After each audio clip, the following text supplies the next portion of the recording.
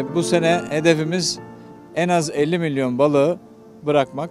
E, hem iç sularda hem de e, denizde bu 50 milyon balığı bu sene hem sportif avcılığı desteklemek hem de denizlerimizin de ve iç sularımızın da zenginliğini artırmak maksadıyla da sulara bırakıyor olacağız. Bu anlamda bu etkinliğimizin de hayırlara vesile olmasını diliyorum.